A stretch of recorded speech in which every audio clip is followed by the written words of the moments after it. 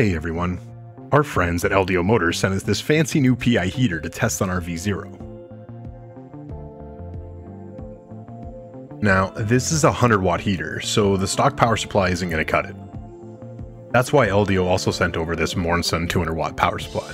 We'll be comparing the heaters head to head in a few quick tests. The Keenovo is a 60 watt heater with a thermistor attached to the bottom of the heating pad. PI heater is 100 watts, with the thermistor actually threaded into the bed itself. We're going to use three different configurations for this test. The first is a standard sized 8mm thick bed with a 60 watt Keenovo heater. Next we have another standard size 8mm bed, but this one has our 100 watt PI heater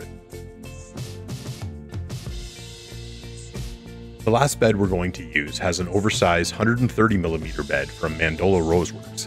It's 6.5 millimeters thick and has the same 60 watt Keenovo. We're going to test how fast it heats up and how accurate the thermistor reads at various temperatures compared to the temperature gun. So now the testing.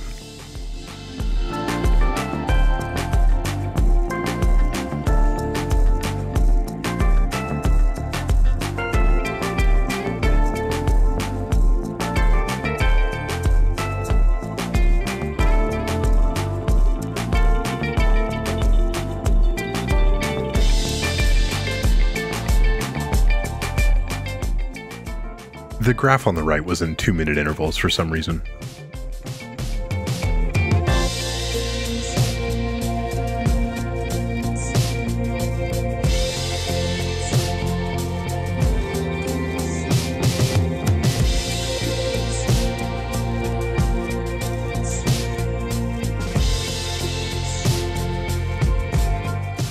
It was neat to see how straight the heat curve is on the PI heater. Thermistor placement made a huge difference in the overall accuracy.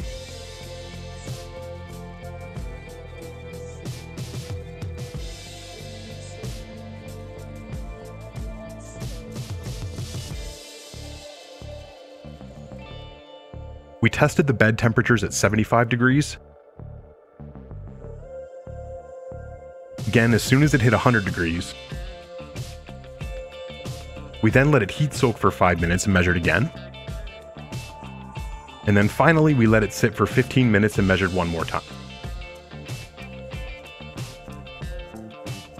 As we were expecting, the thinner bed heated up faster, but did take a little longer to soak because of the larger size.